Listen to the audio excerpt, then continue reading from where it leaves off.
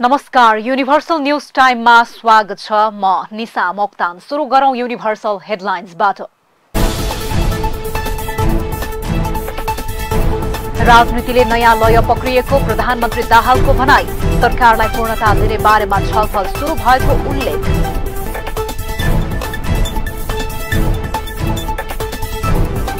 कंग्रेसलाई गल्ती दोहोर्याउने छुट नभएको शेखर कोइरालाको दावी। शान्ति प्रक्रियाका बाँकी कामलाई टुङ्गोमा पुर्याउनु पर्नेमा महामन्त्री थापाको जोड। जनसरोकारको विषय पहिचान गर्न स्थानीय पार्टी कमिटिहरूलाई एमालेको निर्देशन। पूर्वाधार क्षेत्रको विकासबारे पार्टीको माथिल्लो कमिटिलाई रिपोर्टिङ गर्न आग्रह। नेपालमा आणविक कानूनको आवश्यकता रहेको उपसभामुख राणाको भनाई। कानून बनाउँदा परराष्ट्र सम्बन्ध र नीतिलाई ध्यान दिनुपर्नेमा योगेश भट्टराईको जोड। र लाओसँग हुने खेलको तयारी छोटो रहेकाले चुनौतीपूर्ण रहेको नेपाली कप्तान चेम्चोङको भनाई। टोलीले राम्रो नतिजा दिने मुख्य प्रशिक्षक यानिसको विश्वास। न्युज अब विस्तारमा। प्रधानमन्त्री पुष्पकमल दाहालले आफ्नो कार्यकालमा दलित समुदायको लागि विशेष कार्यक्रम घोषणा हुने बताउनु भएको छ। मंगलबार अन्ठाउन्नौ अन्तर्राष्ट्रिय जातीय भेदभाव उन्मूलन दिवसको सन्दर्भमा काठमाडौँमा आयोजित सार्वजनिक समारोह कार्यक्रमलाई सम्बोधन गर्दै उहाँले यस्तो बताउनु भएको हो। उहाँले आफ्नो यो कार्यकालमा दलित समुदायले सयौं वर्षसम्म सम्झने गरी केही कार्यक्रम घोषणा गर्ने प्रतिबद्धता व्यक्त गर्नुभयो। उहाँले दलित समुदायका माग र मुद्दाहरूको सम्बोधन अहिलेको परिस्थितिमा आफूले बाहेक अरूले गर्न नसक्ने पनि बताउनुभयो। सांस्कृतिक आन्दोलनको दृष्टिले र प्रतिनिधित्वको दृष्टिले एउटा नयाँ युगतिर लैजाने प्रक्रियाको नेतृत्व गर्ने अवसर मलाई प्राप्त भयो। अहिले म भिन्न परिस्थितिमा देशको कार्यकारी नेतृत्वमा छु। अहिले भर्खरै परशुरामजीले बिस सूत्रीय माग भनेर जे राख्नु भएको छ मलाई लाग्छ नेपालको आजको मितिमा म सधैँ भन्दिनँ। आजको दिनमा त्यो मैले गर्न सकेँ त्यो अगाडि जान्छ अरूले गर्ने स्थिति मैले देखेको छैन।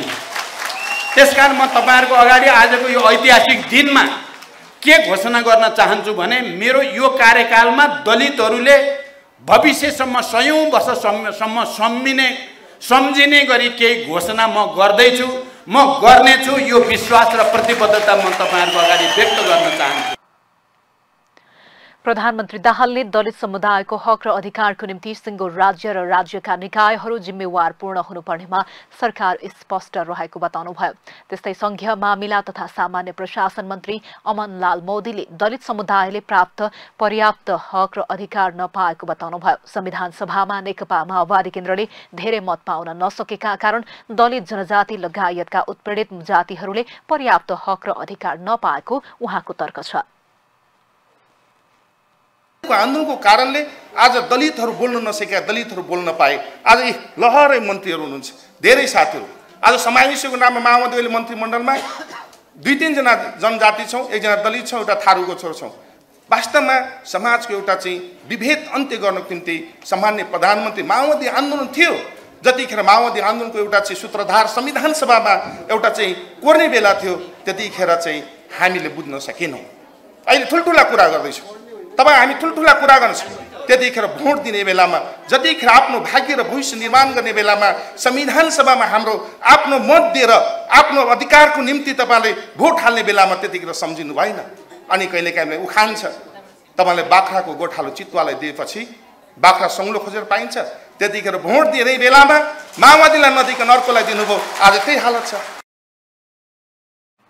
मन्त्री मोदीले दलित जनजाति लगायतका उत्पीडित जातिहरूले संविधान बनाउने बेलामा माओवादीलाई बुझ्न नसकेको बताउनुभयो। उहाँले मत हाल्ने बेलामा माओवादीलाई नसम्झेका कारण आज उत्पीडित जात जातिको पर्याप्त हक अधिकार सुनिश्चित हुन नसकेको बताउनुभयो। मत अरूलाई दिएर बाख्राको गोठालो चितुवालाई बनाएको उहाँको टिप्पणी छ। प्रधानमन्त्री पुष्पकमल दाहाल प्रचण्डले राजनीतिले अब लय पक्रिएको बताउनु भएको छ। गोर्खाको पन्थ डिही कटहरे हर्मी साहिल टार सडक स्तरोन्नति कार्यको शिलान्यास गर्दै उहाँले अब पुरानै गठबन्धन कायम भएको बताउनु भएको हो। संघ सरकारदेखि प्रदेश सरकार पुनर्गठन र आलो पालोका विषयमा दलहरूसँग छलफल शुरू भएको उहाँको भनाइ छ। अब निर्वाचन पूर्व जनतामा गरिएका प्रतिबद्धता अनुसार काम हुने उहाँले बताउनुभयो। सत्ता साझेदार सबै दल र साझेदार निकाय बीच छिट्टै छलफल गरी विकासको मोडालिटी तय गरेर काम अगाडि बढाउने प्रधानमन्त्रीको भनाइ छ।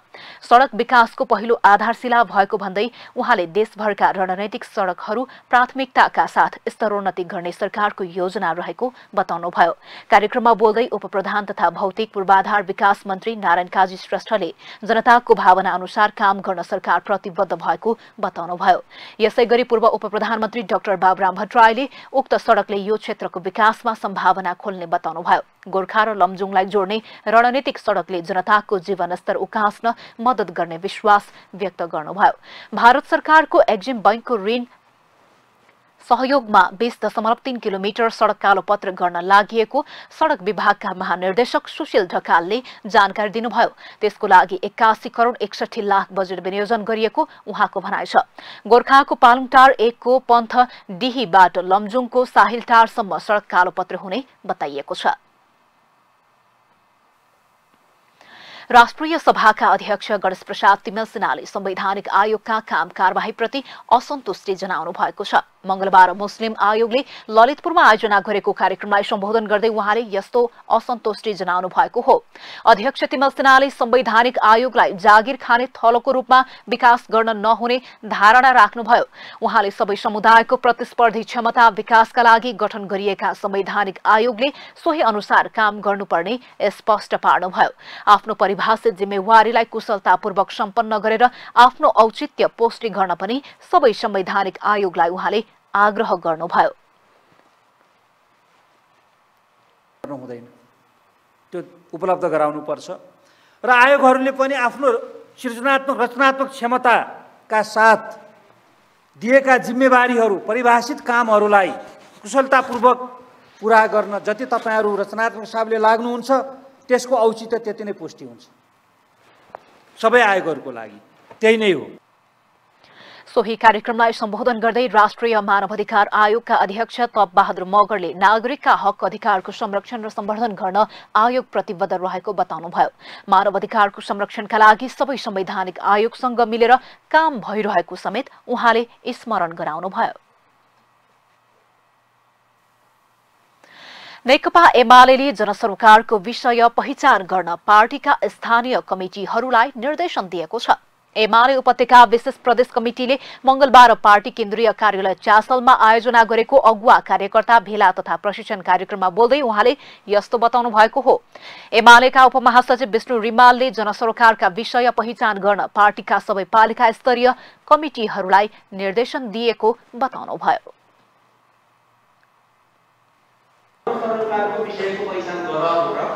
यो चाहिँ सात सय पालिकाबाट पाँच भाग तिनवटाको दल हामीले सुझाव आएका छौँ। मलाई लाग्छ पालिका तहमा मागेका यो कुराहरू हाम्रो यहाँ एप्लिकेबल हुँदैन। यहाँ त अरू सृजनशीलता चाहिन्छ। जनसरकारको विषयको पहिचान भने हाम्रो क्षेत्रको पहिचान गर्नु पर्यो तपाईँ जुन जुन पेसा व्यवसायमा हुनुहुन्छ त्यो पेसा व्यवसायको तपाईँहरूले यो फर्मेटमा चाहिँ आफ्नो सूचना राख्नु पर्यो जस्तो यहाँ उहाँहरूको लागि भौतिक पूर्वाधार क्षेत्रको प्राथमिकता सरकार के हो पालिका उपमहासचिव रिमालले पार्टीका स्थानीय कमिटिहरूले किसानले भोगिरहेका समस्याबारे त्यहाँको भौतिक पूर्वाधार क्षेत्रको विकासबारे पनि पार्टीको माथिल्लो कमिटिलाई रिपोर्टिङ गर्नुपर्ने योजना तय गरिएको बताउनुभयो। पार्टीले जनताको पक्षमा काम गर्नका लागि पनि पार्टी कमिटिहरूले रिपोर्टिङको कामलाई अघि बढाउनुपर्ने उहाँको तर्क छ।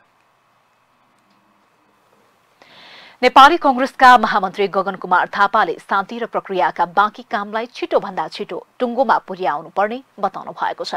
महामन्त्री थापाले भविष्यमा यसले थप जटिलता निम्त्याउने उल्लेख गर्दै तत्काल शान्ति प्रक्रियाका बाँकी कामलाई टुङ्गोमा पुर्याउनु पर्ने बताउनु भएको हो। मंगलबार काठमाडौँमा आयोजित नागरिक स्वतन्त्रताका लागि गिरिजा प्रसाद कोइरालाको योगदान विषयक विचार गोष्ठीमा बोल्दै उहाँले शान्ति प्रक्रियाका बाँकी कामलाई टुङ्गोमा पुर्याउन ढिलासुस्ती गरे वा पीड़ितको भावनामाथि चोट पुर्याउने काम गरे त्यो कसैलाई पनि मान्य नहुने चेतावनी दिनुभयो। महामन्त्री थापाले तत्कालको नाफा भन्दा बाहिर निस्केर शान्ति प्रक्रियाका बाँकी कामलाई टुङ्गोमा पुर्याउन सबै राजनैतिक दलहरूलाई आग्रह समेत गर्नुभयो। शान्ति प्रक्रिया खास गरी नेपाली कङ्ग्रेसका लागि त हामी हामी यसलाई हामीले सुरुवात गरेको भनेर हामी भन्छौँ हुनै पनि। त्यसले यसलाई टुङ्ग्याउने मुख्य जिम्मेवारी पनि हाम्रो हो।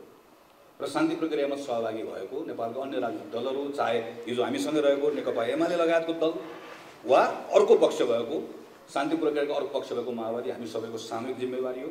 हामी सबैले दलीय सङ्कीर्णता वा तत्कालको नाफाघाटा घाटाभन्दा बाहिर निस्केर यो विषयलाई सम्बोधन गर्ने प्रयास गर्नुपर्छ।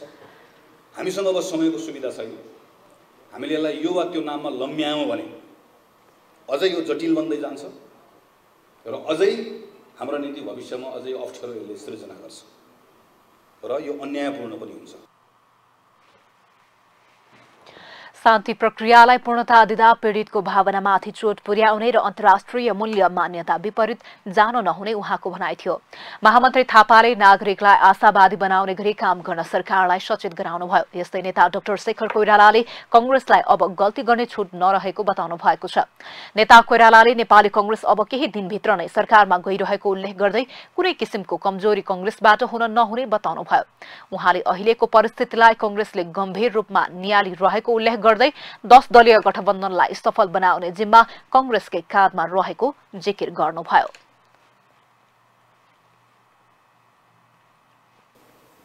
अब नेपाली कङ्ग्रेसलाई गल्ती गर्ने छुट छैन भने पनि हुन्छ। कुनै किसिमको कमी कमजोरी नेपाली कङ्ग्रेसबाट अब हुन हुँदैन। यी सबै कुरालाई नेपाली कङ्ग्रेसले अत्यन्त गम्भीर रूपले हामीहरूले लिएका छौँ र त्यसलाई अगाडि बढाउने जिम्मा अबको नेपाली कङ्ग्रेसबाट जाने जुन नेतृत्व लिएर जानुहुन्छ उहाँहरूको जिम्मा सरकारलाई पनि प्रचण्डजीको सरकार छ। आठवटा नौवटा दल छन् दसवटा दल भनिन्छ। त्यो दसवटा दललाई सम्हालेर अगाडि बढ्ने जिम्मेवारी पनि नेपाली कङ्ग्रेसैको हो।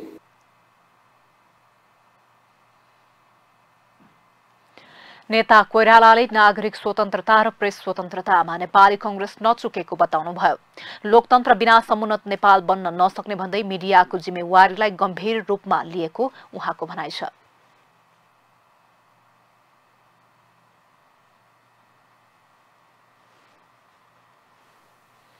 उपसभामुख इन्दिरा राणाले नेपालमा आणविक कानूनको आवश्यकता रहेको बताउनु भएको छ। मंगलबार शिक्षा विज्ञान तथा प्रविधि मन्त्रालयको आयोजनामा भएको आणविक कानूनको सम्बन्धमा सचेतना बैठक तथा राष्ट्रिय कार्यशाला गोष्ठीलाई सम्बोधन गर्दै उहाँले यस्तो बताउनु भएको हो। उहाँले नेपाल शान्तिको देश भएको र नेपालीले शान्ति चाहने बताउनुभयो। छिमेकी देशहरूले आणविक शक्ति प्रयोग गर्दा पर्ने असरहरूको क्षतिपूर्ति उनीहरूले दिनुपर्ने उहाँको भनाइ थियो। उहाँले नेपाल दुई ठूला देशहरूको बीचमा रहेकाले आणविक रूपमा नेपाललाई खतरा रहेको पनि उल्लेख गर्नुभयो। Country, we want peace. Of course, we are between the huge, big two country, and we are sandwich, beautiful sandwich in between Nepal. So of course we have a trade, and it is uh, my understanding. Really, we need a law. If China use this nuclear bomb, then if anything happens to our country, they have to pay this.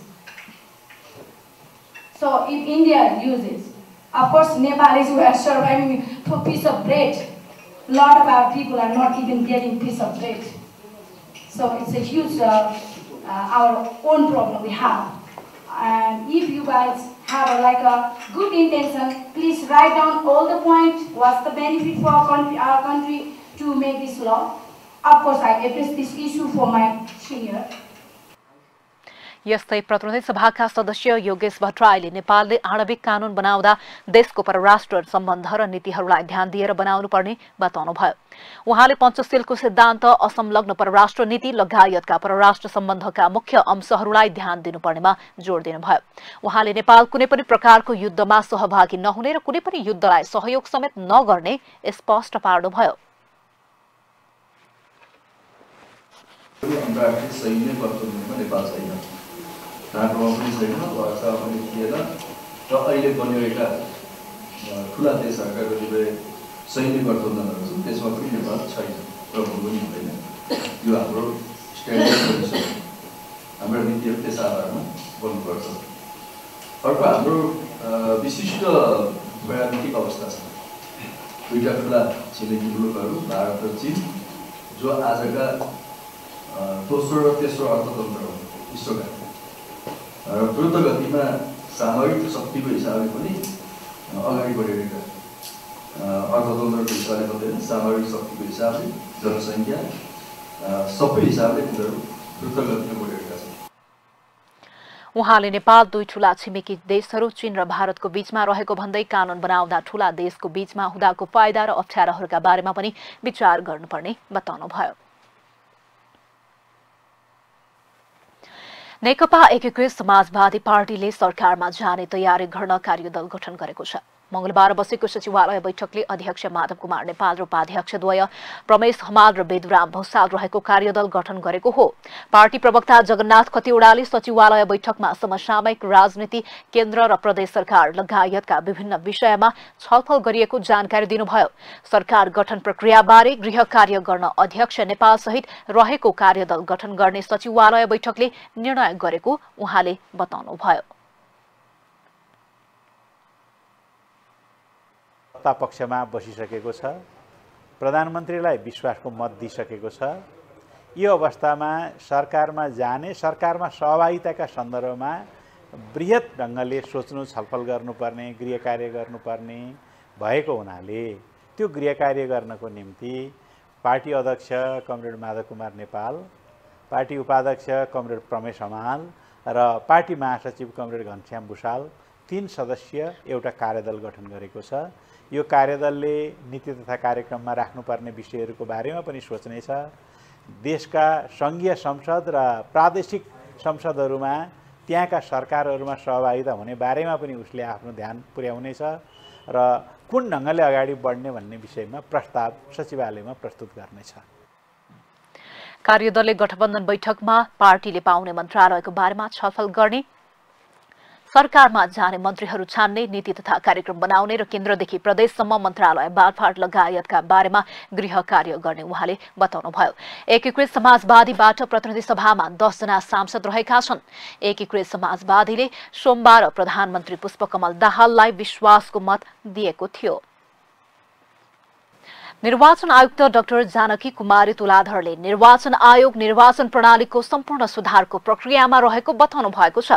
मंगलबार ललितपुरमा आयोजित एक कार्यक्रममा बोल्दै उहाँले आयोग निर्वाचन प्रणालीको सम्पूर्ण सुधार गर्नका लागि काम गरिरहेको बताउनु भएको हो।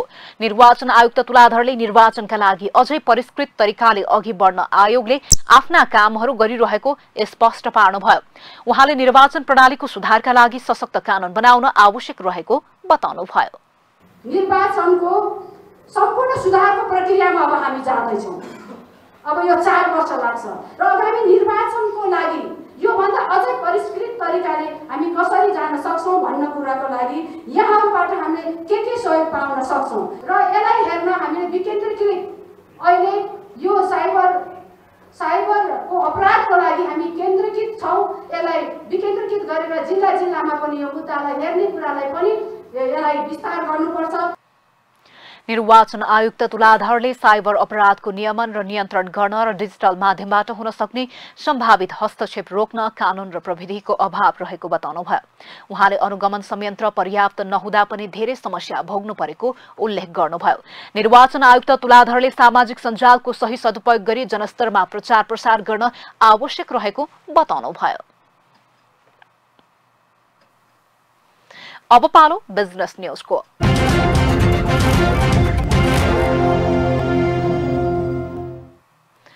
सरकारले फागुन महिनामा मात्रै साढे एक अर्ब रकमान्तरण गरेको छ। विभिन्न मन्त्रालयले खर्च गर्न नसकेको एउटा बजेट उपशीर्षकको एक अर्ब पैंसठी करोड़ रुपैयाँ बजेट अर्को उपशीर्षकमा रकमान्तर गरेको हो। ऊर्जा जलस्रोत तथा सिंचाई मन्त्रालय अन्तर्गत बुढी गण्डकी आयोजनाका लागि छुट्याइएको बजेटमध्ये चालिस करोड़ नदी नियन्त्रण उपशीर्षकमा नारायणी नदी व्यवस्थापन आयोजनामा रकमान्तर गरिएको छ। उक्त रकम चितवनको रिभेटमेन्ट निर्माण तथा तटस्थ निर्माणका कार्यमा खर्च हुनेछ। त्यस्तै ऊर्जा मन्त्रालय अन्तर्गत बुढी गण्डकी आयोजनाकै लागि छुट्याइएको एक अर्ब सुनकोशी मरिन डाइभर्सन बहुद्देश्य आयोजनामा रकमान्तर गरिएको छ। उक्त रकम सुनकोशी मरिन आयोजनाको सुरुङ निर्माणमा खर्च हुनेछ। भौतिक पूर्वाधार तथा यातायात मन्त्रालय अन्तर्गत उत्तर दक्षिण राजमार्ग कर्णाली कालीगण्डकी र कोशीका लागि छुट्याइएको दस करोड मदन भण्डारी राजमार्गका लागि रकमान्तर गरिएको छ।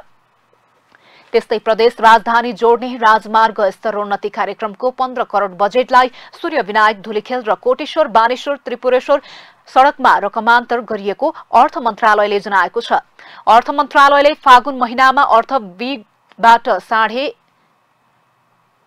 सैतिस करोड रुपियाँ थप निकासा दिएको छ। अर्थले विभिन्न पच्चिसवटा निकायलाई सैतिस करोड उनाचास लाख दुई हजार रुपियाँ थप निकासा दिएको हो सबैभन्दा बढी आन्तरिक राजस्व विभागलाई चुरोटको अन्त शुल्क स्टिकर छपाईका लागि बीस करोड रुपियाँ निकासा दिएको छ। त्यस्तै राष्ट्रिय अनुसन्धान विभागलाई दुई करोड पच्चिस लाख लोकसेवा आयोगका कार्यालयहरूलाई दुई करोड एघार लाख लोकसेवा आयोगको प्रशासनिक खर्च समेतलाई दुई करोड उन्नाइस लाख लुम्बिनी प्रदेशलाई तीन करोड अठाइस लाख थप निकासा दिएको हो। फागुन महिनामा मात्रै सरकारले बहुवर्षीय ठेक्का रहेका आयोजनालाई पाउने आठ अर्ब बजेट सहमति दिएको छ। वार्षिक बजेटमा उल्लेख भएको पन्ध्र अर्ब चार करोड रकममा थप सात अर्ब उना अस्सी करोडको सहमति प्रदान गरिएको हो। अर्थले कृषि तथा पशुपक्षी विकास मन्त्रालयलाई रासायनिक मल खरिदका लागि थप सात अर्ब पचहत्तर करोड रुपियाँ बजेट सहमति दिएको हो। त्यस्तै आन्तरिक राजस्व विभागमा अन्त शुल्क स्टिकर छपाई आपूर्ति तथा ढुवानी प्रयोजनका लागि चालिस करोड दुई लाख थप बजेट सहमति दिएको हो। बुधबारदेखि वैदेशिक रोजगारीमा रहेका तथा विदेशमा स्वरोजगारमा रहेका श्रमिक सामाजिक सुरक्षा योजनामा समेटिँदैछन्। सामाजिक सुरक्षा कोषले बुधबार प्रधानमन्त्री पुष्पकमल दाहाल प्रचण्डको उपस्थितिमा एक कार्यक्रमको आयोजना गरी वैदेशिक रोजगारीमा रहेका श्रमिकलाई योजनामा सूचीकृत गर्ने कार्य प्रारम्भ गर्दैछ। वैदेशिक रोजगारीमा रहेका श्रमिकलाई समेत कोषमा आबद्ध गर्दै योगदानमा आधारित सामाजिक सुरक्षाको दायरा विस्तार गर्ने क्रममा उक्त कार्य शुभारम्भ गर्न लागि कोषका प्रवक्ता विवेक पन्थीले जानकारी दिनुभयो। उक्त योजना शुरू भएसँगै वैदेशिक रोजगारीमा रहेका करिब बाइस लाख नेपाली श्रमिक लाभान्वित हुने अनुमान गरिएको छ। वैदेशिक रोजगारी र विदेशमा स्वरोजगारमा रहेका श्रमिकलाई सामाजिक सुरक्षाको छातामुनि ल्याउन कोषले यसअघि नै अनौपचारिक स्वरोजगार र वैदेशिक रोजगारमा रहेका श्रमिकलाई सामाजिक सुरक्षा कोषमा सूचीकृत गर्ने सम्बन्धी कार्यविधि स्वीकृत गरिसकेको छ। उक्त कार्यविधिले अनौपचारिक स्वरोजगार र वैदेशिक रोजगारमा रहेका लाखौं श्रमिकलाई योगदानमा आधारित सामाजिक सुरक्षा योजनामा सहभागी गराउने बाटो खोलेको थियो। ट्रेड युनियन संघ संगठनले लामो समयदेखि अनौपचारिक र स्वरोजगारमा रहेका श्रमिकलाई सामाजिक सुरक्षाको दायरामा ल्याउन माग गर्दै आएका थिए। नेपालको औपचारिक क्षेत्रका श्रमिकले तीन वर्षदेखि सामाजिक सुरक्षा योजनाबाट लाभ लिन थाले पनि वैदेशिक रोजगारी र विदेशमा स्वरोजगारमा रहेका श्रमिक त्यसबाट वञ्चित हुँदै आएका थिए। गैर आवासीय नेपाली संघ एनआरएनएले पनि वैदेशिक रोजगारीमा रहेका श्रमिकलाई सामाजिक सुरक्षामा आबद्ध गराउन पैरवी गर्दै आएको थियो।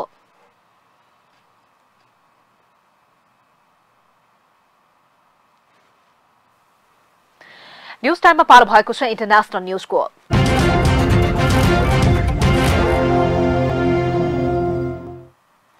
चिनिया राष्ट्रपति सी जिनपिङले रुसका राष्ट्रपति भ्लादिमिर पुटिन समक्ष युक्रेन युद्ध अन्त्यको प्रस्ताव राखेका छन्। रुस भ्रमणमा रहेका सीले रुस युक्रेन युद्धका लागि चीनले तयार गरेको बाह्र बुधे प्रस्ताव समकक्षी पुटिन समक्ष राखेका हुन्। चीनको प्रस्तावमा सामान्य सिद्धान्तका कुरा भए पनि युद्ध कसरी रोक्ने भन्ने विस्तृत योजना भने नरहेको र रुसले पछिल्लो भेट बारेमा विस्तृत जानकारी दिइ नसकेको अन्तर्राष्ट्रिय समाचार संस्थाहरूले जनाएका छन्। पश्चिमा देशहरूले रुसलाई एक्लो बनाइरहेका बेला चिनिया राष्ट्रपति सी रुस पुगेर युद्ध रोक्न आग्रह गरेका हुन्। चीनको प्रस्तावपछि रुसका राष्ट्रपति भ्लादिमिर पुटिनले सम्झौताका लागि आफू खुल्ला रहेको बताएको पनि जनाइएको छ। एक वर्ष अघि रुसले युक्रेनमाथि आक्रमण गरे पनि चीनले त्यसको विरोध गरेको छैन। यसैबीच अमेरिकी विदेश मन्त्री एन्टोनी ब्लिङ्केनले भने सीको भ्रमण हतियार बेच्न गरेको चालबाजी रहेको आरोप लगाएका छन्। तर सीको भ्रमणबारे युक्रेन भने आशावादी देखिएको छ। चीनले दुई हप्ता अघि साउदी अरेबिया र इरान बीचको द्वन्द शान्तिमा रूपान्तरण गर्ने सम्झौता गराउन सफल भएको थियो। केही महिना अघि विदेशी मुद्राको सञ्चित करिब शून्यमा झरेर औषधि इन्धन लगायत अत्यावश्यक सामान समेत आयात गर्न नसकेको श्रीलंकाले डलर संकटको अन्त्य भएको घोषणा गरेको छ। श्रीलंकाको केन्द्रीय बैंकका गभर्नर नन्दनलाल सिंहेले डलर संकटको समस्या समाधान भएको बताएका हुन्। अन्तर्राष्ट्रिय मुद्रा कोष आइएम एफले दुई अर्ब नब्बे करोड डलरको स्वीकृति गर्ने भएसँगै डलर सङ्कटको अन्त्य भएको हो। अन्तर्राष्ट्रिय मुद्रा कोष आइएमएफले आर्थिक संकटको सामना गरिरहेको श्रीलङ्काका लागि तीन अर्ब डलरको बेल आउट प्याकेज स्वीकृत गरेको छ। श्रीलङ्काका राष्ट्रपति रनिल विक्रमा सिंहले बेल आउट प्याकेज स्वीकृत गरेकोमा आइएमएफलाई धन्यवाद दिएका छन्। श्रीलङ्काका विदेश मन्त्री अली साबरीले सरकारी कम्पनीहरूको पुनर्संरचना र राष्ट्रिय वायु सेवाको निजीकरण गरेर थप रकम जुटाइने बताएका छन्। सन् दुई हजार बाइसमा दक्षिण एसियाली मुलुक श्रीलंका गम्भीर आर्थिक संकटको चपेटामा परेपछि राष्ट्रिय ऋणदाताहरूसँग वार्ता सुरु गरेको थियो। सञ्चितको अभाव र समस्याग्रस्त अर्थतन्त्रको कारण एक वर्ष अघि बाह्र अप्रेल दुई हजार बाइसमा श्रीलङ्काले पचास अर्ब भन्दा बढी वैदेशिक ऋण तिर्न नसक्ने घोषणा गरेको थियो। श्रीलङ्काको लागि ठूलो ऋण लगानी गरेको चीनले ऋण तिर्नको लागि पुनः संरचना गर्ने भएपछि आइएमएफले पनि ऋण प्रदान गर्ने सहमति जनाएको बताइएको छ। अब पालो स्पोर्ट्स न्युजको।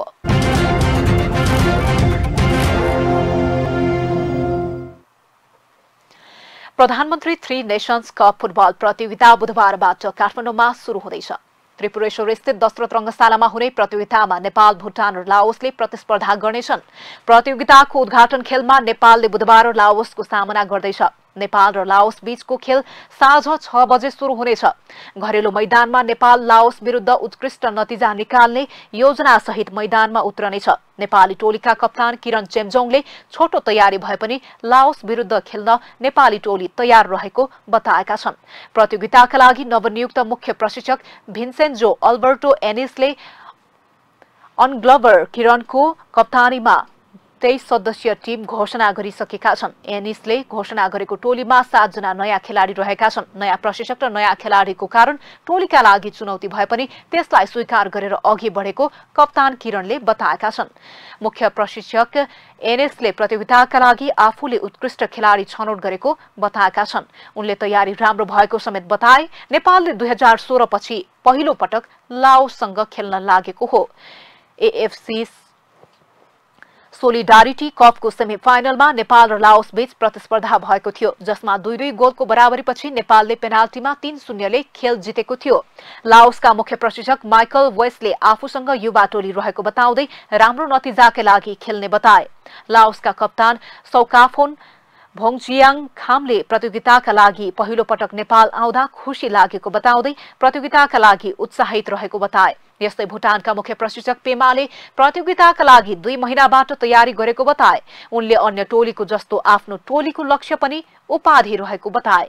सिंगल राउन्ड रोबिनको आधारमा हुने प्रतियोगिता शीर्ष दुई टोलीले उपाधिका लागि चैत्र सत्र गते खेल्नेछन् प्रतियोगिताको विजेताले पाँच हजार अमेरिकी डलर दोस्रोले तीन हजार डलर पाउने एन्फाले जनाएको छ प्रतियोगिताको उत्कृष्ट खेलाडीले पाँच सय अमेरिकी डलर र खेलको म्यान अफ द म्याचले दुई सय पचास डलर प्राप्त गर्नेछन्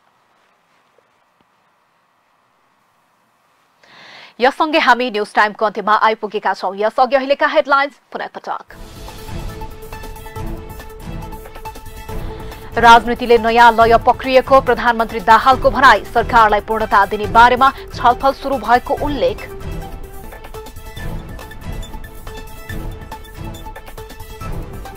कंग्रेसलाई गल्ती दोहोर्याउने छुट नभएको शेखर कोइरालाको दावी शान्ति प्रक्रियाका बाँकी कामलाई टुङ्गोमा पुर्याउनु पर्नेमा महामन्त्री थापाको जोड।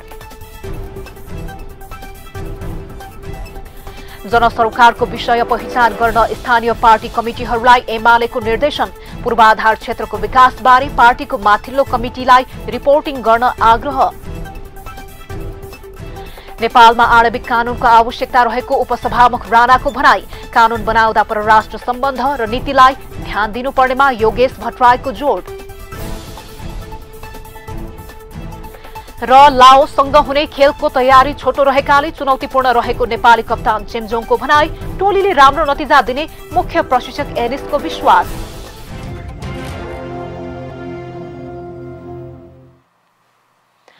हवस् त युनिभर्सल न्युज अहिलेलाई यति नै। हेर्दै गर्नुहोला युनिभर्सल टेलिभिजन। नमस्कार।